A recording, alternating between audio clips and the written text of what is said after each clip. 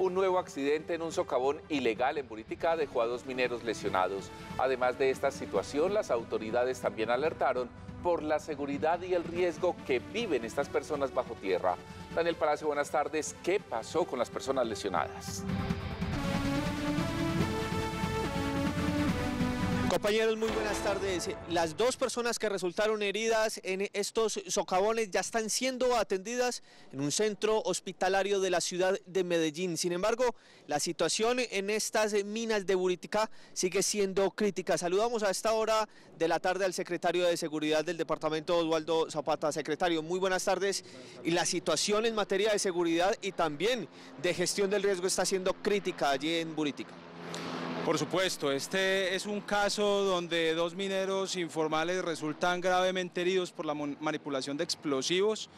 Es una situación en la que, de acuerdo con las estimaciones expuestas por la Sijin Continental Gold, el número de detonaciones eh, de minería informal o ilegal en los socavones que conducen de manera irregular a los túneles de la mina Buritica ascenderían este año a casi 60 mil detonaciones.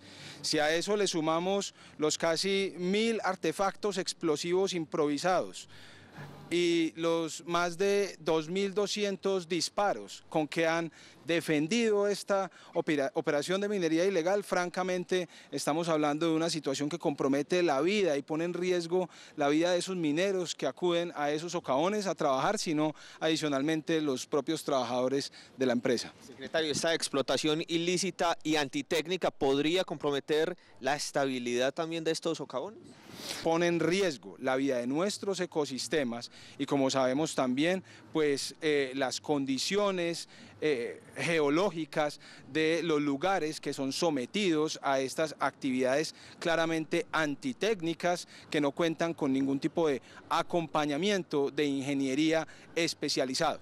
Secretario, muchas gracias. A usted muchas gracias. Ahí está también el llamado de las autoridades para todas aquellas personas. Casi 500 o más personas estiman que ingresan a estos socavones para realizar labores de minería informal en medio del el título minero de la Sijin Continental en el municipio de Buriticaco.